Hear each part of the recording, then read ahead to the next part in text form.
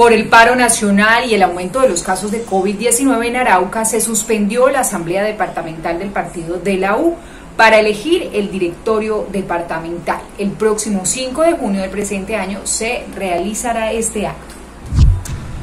El coordinador del partido de la U en el departamento de Arauca confirmó que la asamblea departamental que se tenía previsto a realizar el sábado 22 de mayo del presente año fue suspendida. Se realizará el próximo 5 de junio de este año.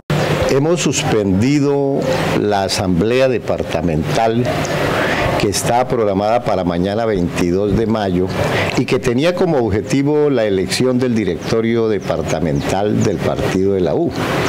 Y la suspensión es a causa de, por supuesto, los problemas de la pandemia y por los problemas de orden público que están golpeando tanto al departamento de Arauca.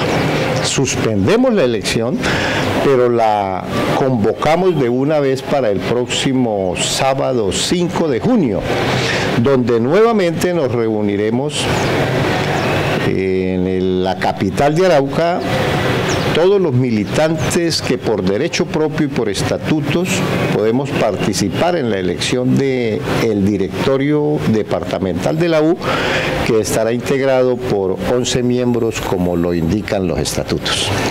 Según Albeiro Vanegas, coordinador del partido de la U en Arauca, con esta asamblea es con miras a las elecciones del Congreso de la República. Hemos reestructurado los directorios en todos los municipios del departamento de Arauca. Se han elegido ya seis directorios nuevos y con base en esa elección elegimos el directorio departamental. ¿Con qué propósito? Me pregunta usted, amigo Carlos Pérez. Con el objetivo de, pues por supuesto, asistir a las elecciones del 13 de marzo con candidatos a la Cámara de Representantes, es decir, con una lista que lleve tres candidatos a la Cámara de Representantes con el objeto de buscar ganar la curula a la Cámara y apoyar, por supuesto, candidatos al Senado de la República.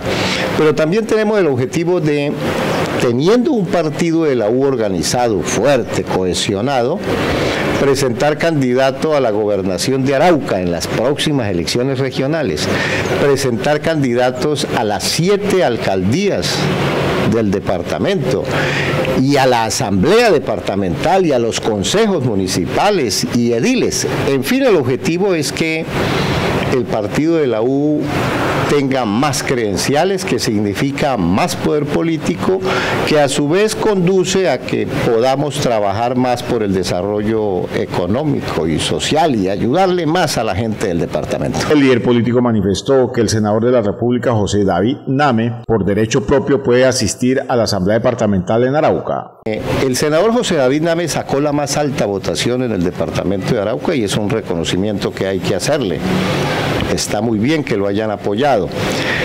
El senador José David Name, por derecho propio, puede asistir a la asamblea departamental en la que se elegirá el directorio.